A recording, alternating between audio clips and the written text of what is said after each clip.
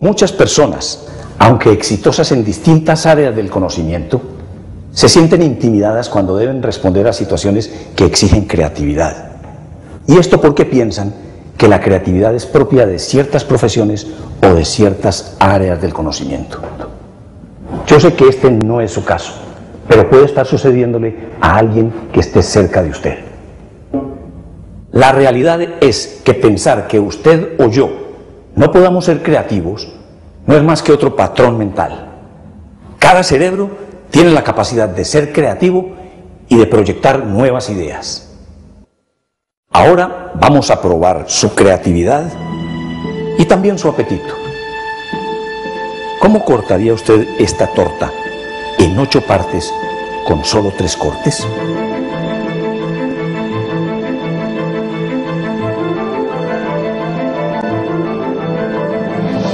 Si no logró obtener los ocho pedazos, no se preocupe. La mayoría de las personas no lo hace.